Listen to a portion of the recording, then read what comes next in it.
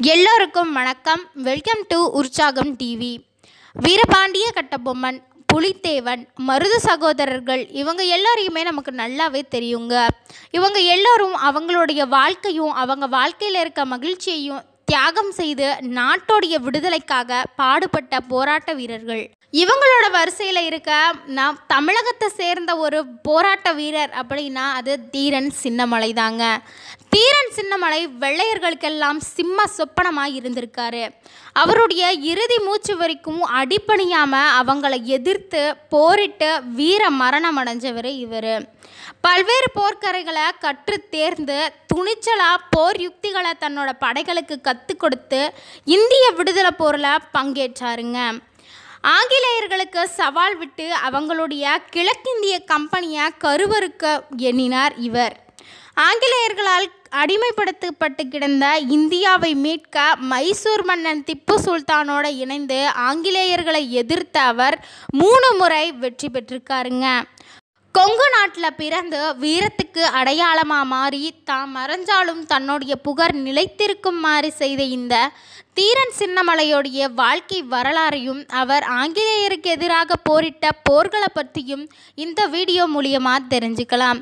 இந்த வீடியோ ரொம்பவே சுவாரஸ்யமாக இருக்கும். அதனால் வீடியோவை ஸ்கிப் பண்ணாமல் முழுசாக பாருங்கள் இது வரைக்கும் நம்ம சேனலை நீங்கள் சப்ஸ்கிரைப் பண்ணலனா கீழே இருக்க ரெட் கலர் சப்ஸ்கிரைப் பட்டனை ப்ரெஸ் பண்ணி சப்ஸ்கிரைப் பண்ணிவிடுங்க அப்படியே நோட்டிஃபிகேஷனுக்கான பெல் பட்டனையும் ப்ரெஸ் பண்ணிவிடுங்க வாங்க வீடியோக்குள்ளே போகலாம்.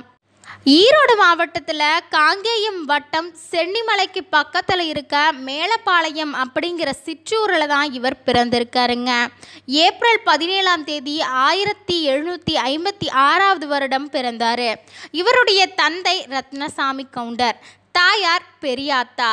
இவருடைய இயற்பெயர் அதாவது பெற்றோர் இவருக்கு வைத்த பெயர் கீர்த்தகிரி கவுண்டர் அப்படிங்கிறது தாங்க இவருடைய இந்த பெயர் எப்படி வந்துச்சு அப்படின்னா அவருடைய பிறப்பிடமான கொங்கு நாடு மைசூர் மன்னருடைய ஆட்சியில் இருந்ததாங்க.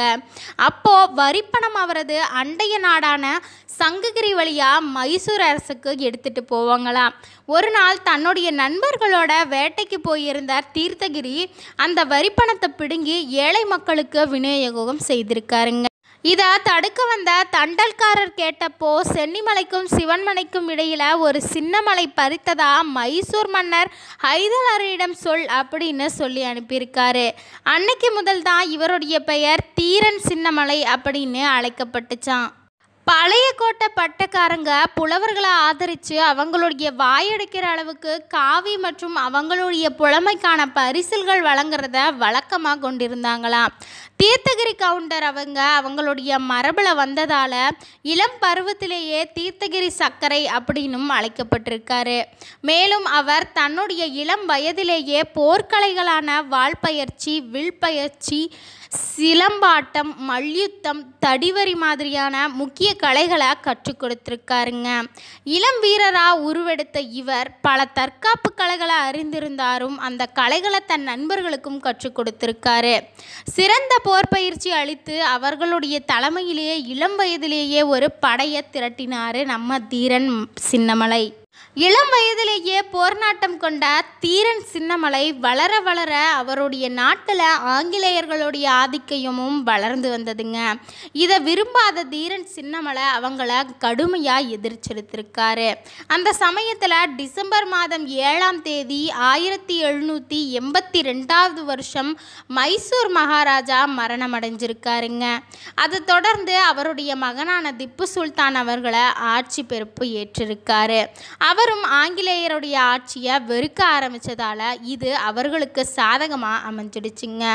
அதனால தான் திப்பு சுல்தானும் தீரன் சின்னமலையும் வெகு விரைவில் நண்பர்களாக மாறி படையை திரட்டி ஆங்கிலேயருக்கு எதிராக போர்களை முற்பட்டிருக்காங்க. இதையடுத்து திப்பு சுல்தான் மற்றும் தீரன் சின்னமலை கூட்டணியில் நடந்த மூன்று போர்களையும் வெற்றி பெற்று ஆங்கிலேய படைகளுக்கு பெரும் சேதத்தை விளைவிச்சாங்க. மேலும் நான்காவது போரில் இவங்க தோல்வியடைஞ்சதாக சொல்லப்படுதுங்க. மூன்று போர்கள்லையும் திப்பு சுல்தானிடமும் தீரன் சின்னமலையிடையும் தோற்றதால ஆங்கிலேயர்கள் பல புத்திய போர் யுக்திகளை பயன்படுத்த ஆரம்பித்தாங்க இதனால் திப்பு சுல்தான் மாவீரன் நெப்போலியன் போய் நான்காவது மைசூர் போரில் அவங்களுக்கு உதவி புரியணும் அப்படின்னு தூது அனுப்பியிருக்காருங்க. என்னதான் நெப்போலியன் இவங்களுக்கு உதவி செஞ்சிருந்தாலும் இவங்களோட படைகளோடும் துணிச்சலோடும் திப்புவும் சின்னமலையும் அயராது போரிட்டனர். மேலும் இந்த நான்காவது போருடைய இறுதியில் அதாவது மே மாதம் நாலாம் தேதி ஆயிரத்தி எழுநூற்றி தொண்ணூற்றி ஒன்பதாவது வருடம் மைசூர் மன்னனான திப்பு சுல்தான் மரணம் அடைஞ்சிருக்காரு திப்பு சுல்தானுடைய வீர மரணத்துக்கு அப்புறமா கொங்கு நாட்டில் இருக்க ஓடாநிலை அப்படிங்கிற ஊரில் தங்கியிருக்காரு சின்னமலை. திப்புவோடைய மரணத்திற்கு பழித்தீர்க்கும் வண்ணமாக அவங்களுடைய சொந்த சிவன்மலை பாடலிக்காட்டில் தன்னுடைய வீரர்களுக்கு பயிற்சி அழைச்சி வந்திருக்காருங்க. மேலும் பிரெஞ்சுக்காரர்களுடைய உதவியோட பீரங்கிகள் மாதிரியான போர் ஆயுதங்களையும் தயாரித்தார் அதை தொடர்ந்து கிபி ஆயிரத்தி எழுநூற்றி தொண்ணூற்றி ஒம்போதில் படைகளை பொறுக்கும் விதமாக திப்புவிடம் பணிபுரிந்த முக்கியமான சிறந்த போர் வீரர்களான துண்டாஜி வாக் அப்பாஜி ஆகியோரை தன்னோட படையில் சேர்த்துக்கிட்டாரு.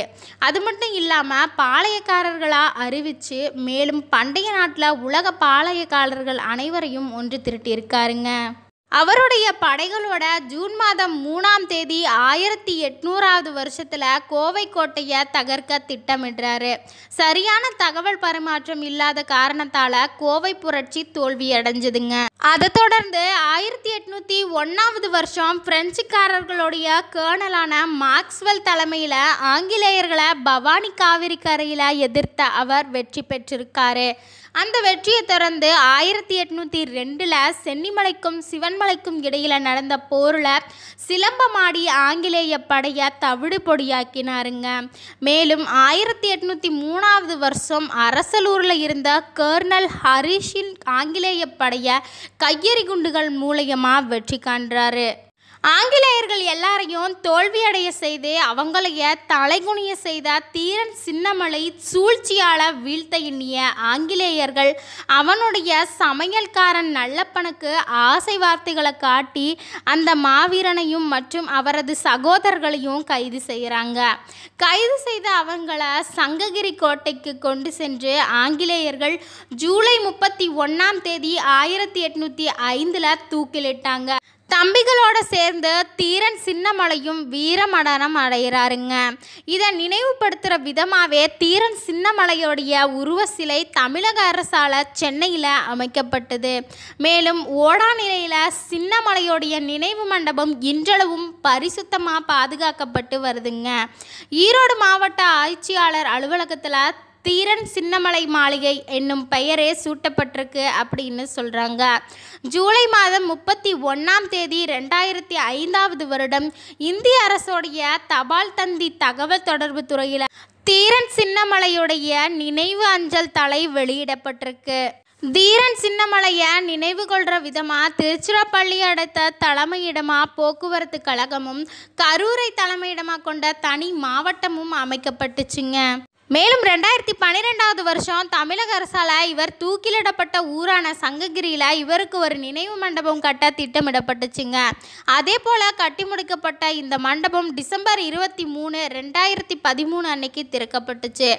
அதே நாளில் கிண்டியில் இருந்த இவருடைய உருவ சிலையும் புதுப்பிக்கப்பட்டு இவருடைய வாழ்க்கை வரலாற்று குறிப்பும் வெளியிடப்பட்டதுங்க. இவர் பல போர்களை நடத்தியிருந்தாலும் பல கோவில்களுக்கு திருப்பணிகளை செய்திருக்காருங்க. புலவர் பெருமக்களை ஆதரிச்சும் இருக்காரு.